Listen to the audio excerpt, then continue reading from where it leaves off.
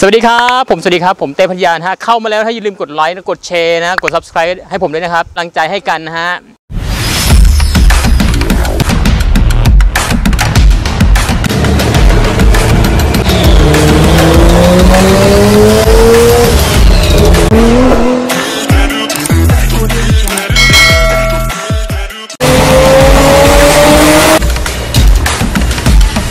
วันนี้นะครับทุกคนครับวันนี้พอดีคันนี้นะครับ ผมจะมาโละรถคันนี้ฮะปี 2017 ฮะตัวนี้ Toyota Active นะฮะปี 2017 ตัวนี้นะฮะใครที่ติดตามครั้งที่แล้วนะฮะก็ผมได้รีวิวไปแล้วนะฮะแต่ว่าวันนี้เนี่ยผมจะมาอัปเดตให้ทุกคนฮะแล้วปรับราคาลงเลย ราคาโควิดอย่างเงี้ยฮะมันมีหลาย ๆ คนก็บอกว่าทำไมไม่ปรับราคาลงตั้งแต่ครั้งที่แล้วนะฮะจริง ๆ แล้วนะผมบอกเลยนะฮะไม่มีคนไหนที่อยากจะขายรถขาดทุนนะไม่เอ่อพี่ไม่เอ่อ ปรับราคาลงฮะครั้งที่แล้วนะครับ แต่จริงๆแล้วนะครับ ผมบอกนะฮะราคารถมันมีราคาของเขานะฮะราคาคือราคาตลาดนะ พูดง่ายๆคือเป็นราคาตลาดนะ แต่ว่าคือผมมาเป็นพ่อค้าสายตัดนะฮะจริงๆแล้วรถอะถ้าเกิดว่าจอดไว้นานฮะคือถ้าเกิดว่ามันจอดไว้นานเนี่ยมันหาลูกค้าไม่ได้ ถ้าพูดถึงในเศรษฐกิจแบบนี้นะฮะในภาวะแบบนี้โควิดแบบนี้นะฮะเอ่อถ้าถามว่าจอดขายหน้าเต็นท์อะมันมันมันแทบจะไม่มีคนเลยนะ ตอนนี้นะฮะทำไมถึงมาผมมาอะคันนี้เป็น Active ปี 2017 เนี่ย วันนี้ผมจะปรับราคาลงนะครับ คือให้ตัดออกไปเลยฮะตัดทิ้งไปเลย ผมรู้ว่ายังไงก็ต้องขาดทุนครับ แต่ฮะถ้าเกิดว่าใครที่กำลังหารถอยู่นะฮะไม่ว่าจะพ่อค้านะครับแม่ค้ารถยนต์มือสองฮะที่กำลังจะหารถไปขายอยู่นะครับ หรือว่าคนที่ไม่ใช่เป็นพ่อค้านะฮะคนที่กำลังหารถเอาไปใช้อยู่ ผมถือว่าคันนี้นะฮะวันนี้นะครับผมบรรลุนะครับ ผมบรรลุถือว่าวันนี้ราคาแบบสุดยอดเลยนะครับที่แล้วนะครับผมรีวิวไปเท่าไหร่ ครั้งที่แล้วนะครับผมรีวิวตัดเป็นเงินสดนะฮะผมรีวิวไปที่3 0 0 0 0 0 35,000 บาทนะฮะ ถ้าเกิดว่าผมจำไม่ผิดนะ แต่วันนี้ผมบอกเลยนะฮะ ราคานี้ผมให้ไปเลยครับ 275,000 บาทฮะ เป็นเงินสดนะครับ คันนี้ค่อนข้างจะคุ้มเลย แต่เดี๋ยวผมจะรายงานรถเพิ่มอีกทีนะครับว่ารถคันนี้มันเป็นยังไงถึงราคามันต่ำลงฮะ ราคามันถูกลง ราคารถตัวนี้นะฮะ ราคารถตัวนี้ยาริส ปี 2017 Active ตัวนี้มันมันมี2 2รุ่นนะครับ มันมีประตูกับมี 5 ประตูนะฮะ มันเป็นแฮชแบ็กนะฮะ ถ้า 5 ประตูนะฮะ แต่ตัวนี้มันได้ 4 ประตูนะครับ แต่ราคาที่ปรับลง อ่า รถมันมีตำหนินะครับ ถ้าพูดถึงนะฮะ ถ้าเกิดเป็นพ่อค้าเนี่ย เอาไปเก็บงานสักนิดหนึ่งฮะ ถ้าเกิดรถสวยๆนะครับ ถ้าเกิดรถสวยๆรุ่นนี้นะครับ ยี่ห้อนี้นะครับ ซื้อเข้าอยู่ประมาณ 30ถึง 33 นะครับ ซื้อเข้านะฮะสามสามสิบสามเอ็ดสามสองนะฮะ ซื้อได้ครับ แต่นะครับ รถมันมีตำหนิปุ๊บ โอเคฮะ เราก็ยอมขาดทุนฮะ ถือว่าเราผิดพลาดเองอะตัวนี้ผมจะมาเปิดให้ดูฮะอะลองมองลองมองก่อน ลองดูสภาพข้างนอกก่อน รถคันนี้มีเสน่ห์นะ ลองดูฮะ รถคันนี้มีเสน่ห์เลยนะครับ เห็นไหมครับ มีเสน่ห์มากครับ เป็น มันได้อะไรปะมันได้สีขาวนะฮะ ได้สีขาวตัวนี้นะฮะ อ่า มาดูตรงนี้เลยครับ มาดูนี่เลย เดี๋ยวผมจะเปิดฝากระโปรงให้ทุกคนได้ดูว่ารถทำไมถึงปรับลงอีกทีฮะ อ่า คันนี้ก็ ก็จอดสักพักหนึ่งฮะ ก็เอาไว้ใช้ฮะ ใช้สักพักหนึ่งแล้วนะครับ ก็ กำไรเหรอครับกำไรตรงไหนปะกำไรที่เราเอาไปใช้นะครับกำไรนะครับ อ่า อะเดี๋ยวผมเปิดฝากระโปรงให้ดูเลยครับ นี่ฮะมาดูเลยครับ อ่า ฝากระโปรงตัวนี้นะฮะรถมันมีสกิดหน้ามานะเห็นไหมครับรถคันนี้มันมีสกิดหน้ามานะ อ่า ถ้าเกิดว่าถ้าเกิดว่าคนที่ไม่ใช่พ่อค้ารถยนต์มือสองอะ ถามว่าดูออกไหมดูไม่ออกนะครับเพราะว่ามันไม่ได้โดนเยอะนะครับ มันโดนแค่ช่วงหน้ามานะครับ อ่า อย่างตรงนี้นะฮะอ่าฝากระโปรงตัวเนี้ย เนี่ยจับดูเลยครับมันแข็งนะฮะเนี่ยฝากระโปรงมีน็อตขยับนะน็อตขยับนะฮะฝากระโปรงอันนี้เปลี่ยนมานะครับเห็นไหมฮะเปลี่ยนมาเลยนะครับเนี่ยคันนี้อ่าแต่ว่ามันได้มันได้มันดีตรงไหนป่ะคือรถมันไม่ได้ชนหนักซูมมันเดิมนะฮะเห็นไหมเม็ดอาร์ตยังอยู่ครบอ่าซูมดูน็อตข้างในก่อนเนี่ยเข้าไปดูน็อตข้างในเห็นไหมน็อตข้างในมีการถอดนะครับ มีการถอดแล้วเก็บเก็บสีนะครับ มีการถอดเก็บสีนะฮะนี่อ่าแก้มฝั่งนี้ฮะเดี๋ยวผมรายงานให้ทุกเม็ดเลยฮะ สำหรับคนที่รับได้ครับในราคานี้นะครับ แก้มตรงนี้นะฮะอ่าแก้มตรงนี้มีการเอ่อเก็บสีมานะ มีการถอดนะขยับนะอ่ามาดูคาน คานตัวนี้นะฮะเห็นไหมครับ คานตัวนี้มีการไล่คานมานะเห็นไหมครับอ่าไล่คานมาแต่ที่สำคัญฮะมันโดนสะกิดตรงเนี้ยมันมีการเก็บงานมาตรงเนี้ยเห็นไหมครับนี่ตรงมือผมเนี้ยมันมีการเก็บงานมานะครับอ่ามันมีการเก็บงานแล้วสีมันร่อนสีมันร่อนออกฮะถ้าเกิดว่าเป็นพ่อค้าเนี่ยคือต้องไปเก็บงานเพิ่มนะอ่า เอามาดูฝั่งนี้เลย ฝั่งนี้เหมือนกันนะครับ ฝั่งนี้มีการไลฟ์มานะฮะมีไลฟ์การไลฟ์คานมานะครับ มีการไล่คานมา อ่า อืม เดี๋ยวผมดูให้ ตรงนี้มีสติ๊กเกอร์อยู่ครบนะมอกอยู่ครบนะฮะเห็นไหมครับ อ่า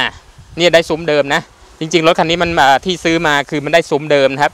อ่า แก้มีการถอดมาฮะ ถอดเก็บสีมานะฮะ อืม ก็โอเค เดี๋ยวผมให้ดูเครื่องดีกว่า เดี๋ยวสตาร์ทดูเครื่อง เครื่องก็ถือว่าโอเคนะฮะ เครื่องนะฮะ เครื่องมันมันค่อนข้างจะแบบโอเคเลยแหละครับ รถมันเป็นรถมือเดียวนะครับ คันนี้นะฮะ คันนี้เป็นรถมือเดียวป้ายแดงนะครับ แต่ถ้าถ้าเกิดว่ามองสภาพเครื่องนะครับ สภาพเครื่องถือว่าไม่เคยแกะไม่เคยเปิดฝาไม่เคยติดแก๊สมาก่อนนะฮะคันนี้นะฮะ ถือว่าสภาพที่สภาพสภาพเครื่องถือว่าโอเคเลยนะครับเนี่ยฮะ สีแต้มโรงงานตามตัวน็อตยังอยู่นะฮะเห็นไหมครับเนี่ยสีแต้มโรงงานยังอยู่นะครับ แบตเตอรี่คือใช้ได้ปกติฮะไม่มีไอไม่มีน้ำมันพ่นนะฮะคือคันนี้ผม confirm เลยถ้าเกิดว่าถ้าเกิดว่าใครที่กลัวรถยนต์มือสองฮะรถคันนี้คือเราได้มายังไงคือเราไม่ได้ย้อมแมวนะคือแบบขายตามสภาพเลยนะครับ ขายตามสภาพเลยให้กับพ่อค้าคนที่เอาไปปั้นนะครับ แล้วไปขายต่อนะฮะคือคันนี้หน้าเต็นท์ผมบอกเลยนะฮะอยู่ประมาณ 37 38นะฮะอะ เดี๋ยวผมให้ดูบอดี้ข้างๆก่อนนะครับ อ่า นี่รถจะมีเก็บงานเพิ่มนะฮะมีเก็บงานเพิ่มก็คือถ้าถ้าเกิดว่าใครเอาไปนะครับเป็นพ่อค้าคือเอาใครเอาไปก็เก็บงานเพิ่มก็มีฝากระโปรงนะฮะที่เป็นรอยขีดนะครับ มีฝากระโปรงนะฮะกันชนหน้าคือไม่ต้องนะกันชนหน้าก็ถือว่ายังโอเค ไฟก็ถือว่าไม่มีหมองนะฮะไฟใหม่นะครับ ถือว่าสวยนะ นี่มันจะมีเก็บตรงนี้นิดนึงนะครับนี่จะมีตำหนิตรงนี้นิดนึงนะครับ นี่ฮะเห็นไหมครับ จะมีตำหนินิดนึงครับเป็นเป็นหลักยิ้มนะครับ อ่า ยางของเขานะฮะยางของเขานะฮะยางของเขาถือว่าเออมันเป็นยางปี 17 นะ ตัวนี้นะฮะเป็นเป็นยางติดรถมาเลยนะครับอ่าถือว่ายางก็ถือว่ายังขับได้อยู่ถ้าถามว่าสภาพนะฮะแต่ถามว่าสภาพเนี่ยถ้าเป็นสับพ่อค้านะฮะถามว่าด้อยไหมมันก็บอกได้เลยว่าด้อยนะครับ แต่ว่าก็คือยังใช้ได้อยู่นะครับอ่าสภาพก็ถือว่ายังโอเคอยู่นะครับ ยังใช้ได้อยู่ เดี๋ยวมาดูนี่เลยครับนี่มันจะมีตรงนี้นิดนึงนะครับ มีรอยตัวนี้นิดนึงฮะถามว่าซีเรียสไหมไม่ต้องไปซีเรียสครับ หลังคานะครับหลังคาถือว่ายังสีเต็มอยู่นะ สีประตูตรงนี้นะฮะสีประตูตัวนี้ถือว่าไม่ต้องเก็บนะอ่าขัดได้นะครับถือไม่ต้องเก็บนะ มาดูฝั่งนี้ก่อนอ่าอ่าเดี๋ยวเดี๋ยวดูตัวนี้ดีกว่าอ่าดูตัวนี้เลยฮะอ่าดูตรงนี้ฮะตรงนี้ได้เดิมนะนี่ตรงนี้ได้เดิมหมดเลยนะครับ นี่ได้เดิมหมดเลยนะ เห็นไหมครับอ่าเดี๋ยวปิดเครื่องก่อน อันนี้ได้เดิมหมดเลยนะครับ ใครที่ได้ใครที่ติดตามอยู่ฮะคือรายละเอียดของรถคันนี้ EP แรกนะ EP แรกผมรีวิวไปแล้วนะฮะ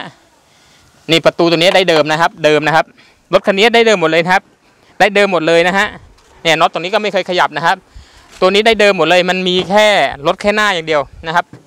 เนี่ยเดี๋ยวผมให้ดูนะครับ นี่เห็นไหมครับ ฝั่งนี้ได้เดิมหมดเลยนะ เดิมหมดเลยครับ เดิมหมดเลยฝั่งนี้นะครับ ประตูก็เดิมนะฮะเห็นไหมครับ ประตูก็เดิมนะครับ เดี๋ยวให้ดูหลังเลยนะครับอ่ามาดูข้างหลังก่อน ข้างหลังอันนี้ก็ได้เดิมนะครับ ตัวนี้มันเป็นตัวปี 2017 มันเป็นตัวโลนะ ตัว J เขาเรียกว่าตัว J แต่ว่าตัวนี้คือ J น่ะโอ้โหเอาไปใช้มาครับ เอาไปใช้มาก็หลายเดือนละอืมแต่พอพอดีผมเพิ่งได้เล่มมานะ เพราะว่าผมไปปิดบัญชีมาให้กับลูกค้านะครับ แต่ผมก็ไปดันมาแพงนะครับ นี่น็อตไม่มีขยับนะฮะเห็นไหมครับ มันได้เดิมนะ ได้หลังเดิมนะฮะเนี่ยดูล่องก่อนนะครับล่องล่องเดิมหมดเลยนะครับ อ่ารถคันนี้ได้หลังสวยนะยางอะไหล่ครับยางอะไหล่ก็ยางอะไหล่ไม่มีนะฮะจะจะมีพวกเอพวกปั๊มนะครับระบบเติมลมของเขานะฮะข้างหลังคือเดิมนะ เดิมหมดเลยนะครับ นี่เดิมหมดเลยนะฮะรถไม่เคยติดแก๊สด้วยนะครับคันนี้นะครับ นี่ได้เดิมหมดเลยนะฮะอ่าข้างหลังได้เดิมนะฮะมีขยะด้วย มาดูฝั่งนี้เลยครับมาดูฝั่งนี้เลย อ่ามาดูฝั่งนี้นะฮะถ้าเกิดว่าเอ่อถ้าเกิดว่ารูปทรงฝั่งนี้นะฮะถือว่าไม่ต้องเก็บงานนะนี่ยังได้บางเดิมอยู่ฮะเนี่ยประตูฝั่งนี้ก็ฮะเหมือนกันไม่ต้องเก็บนะ ดึงฝั่งนี้ให้ดูเลย นี่เม็ดอาร์ตอยู่ครบนะฮะเม็ดอาร์ตครบเลยนะครับเห็นไหมครับ นี่อ่าเม็ดอาร์ตอยู่ครบนะฮะอะมาดูประตูฝั่งนี้ก่อนครับ ประตูฝั่งนี้ก็ได้เดิมนะฮะเห็นไหมครับ กาวยังอ่อนิ่มๆอยู่เลยนะครับเห็นไหมครับ ถือว่าโอเคเลยนะครับ อ่ามาดูประตูฝั่งนี้ก่อน มาดูฝั่งนี้ก่อนครับ นี่ฝั่งนี้ก็ได้เดิมนะฮะเห็นไหมครับ เห็นไหมครับ ฝั่งนี้ได้เดิมนะ นี่ได้เดิมนะครับ เห็นไหมครับ เดิมสวยนะครับ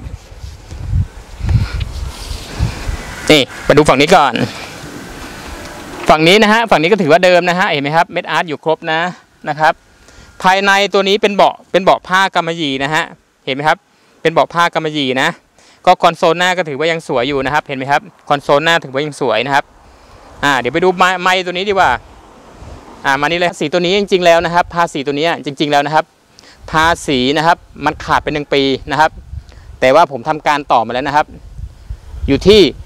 16กคนะฮะ65นะครับ ต่อมาแล้วครับผมครับนี้นะคันนี้ผมต่อมาให้แล้วนะ เพราะว่าครั้งที่แล้วที่ผมรีวิวมานะครับ เพราะว่าอ่อถ้าเกิดว่าโอนฮะ ถ้าเกิดว่าภาษีมันขาดมันโอนไม่ได้นะคันนี้นะครับอ่ามาดูมาดูภายในกันครับ แผงประตูเนี่ยฮะตรงแผงประตูถือว่ายังสวยอยู่นะครับ นี่ นี่ แผงประตูเขายังสวยอยู่นะฮะระบบไฟฟ้าใช้ได้สี่บานเลยครับ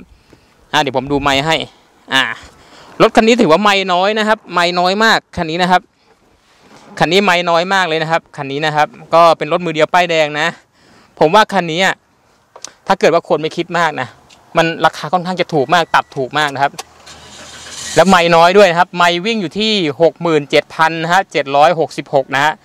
ถือว่าวิ่งน้อยนะฮะระบบไฟฮะต่อหน้าจอนะครับ ระบบไฟหน้าจอถือว่าปกตินะฮะไม่มีขึ้นนะฮะระบบแอร์เย็นนะครับอ่าอาจจะต้องไปเติมน้ำยาแอร์สักนิดหนึ่งนะฮะมันก็เย็นนะฮะมันเย็นฮะระบบเครื่องเสียง ระบบเครื่องเสียงใช้ได้ปกตินะครับ เนี่ยระบบเครื่องเสียงนะฮะระบบเครื่องเสียงดังนะฮะใช้ได้ปกตินะครับ